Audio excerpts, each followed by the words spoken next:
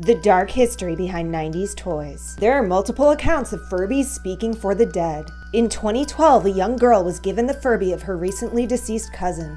One night, the Furby woke up by itself and said, Let me sleep. It continued to stare at the little girl for the whole night. But the next morning, it got worse. The little girl told her mom what happened, and the mom gave her this strange look. The girl asked her mom what was wrong, and her mom said, Those were your cousin's last words.